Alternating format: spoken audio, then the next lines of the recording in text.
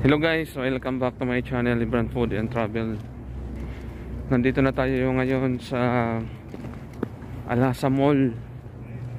Dito sa Alhasa. Medyo maliit lang to guys pero ano ah, May sinihan sa loob